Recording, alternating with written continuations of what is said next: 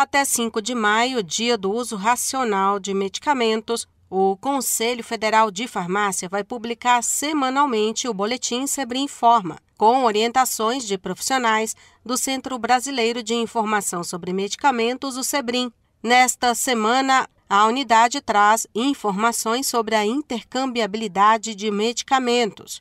O farmacêutico é o profissional autorizado a realizar a substituição, ou seja, intercambiar. Não é qualquer medicamento que pode ser trocado na farmácia. Isso depende de qual produto o médico prescreveu na receita e também se o medicamento tem similar equivalente ao de referência aprovado e se o medicamento prescrito tem genérico. O medicamento de referência é um produto inovador, desenvolvido por um laboratório com marca registrada. É o primeiro aprovado pela Anvisa.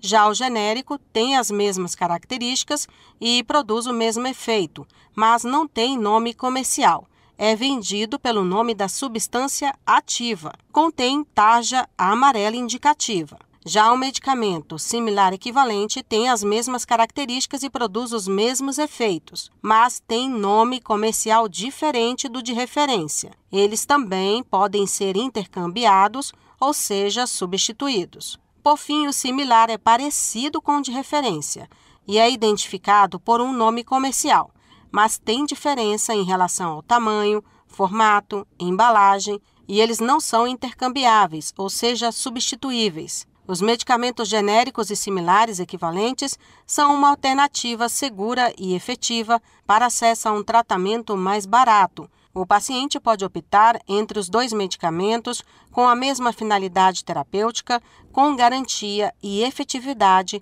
para alcançar os resultados terapêuticos. Isso é garantido pelos inúmeros testes exigidos pela Anvisa. Eles demonstram que os medicamentos genéricos e equivalentes podem ser substituídos em relação ao medicamento de referência. Saúde, um serviço do Conselho Federal de Farmácia. Agência Rádio Web. De Brasília, Denise Coelho.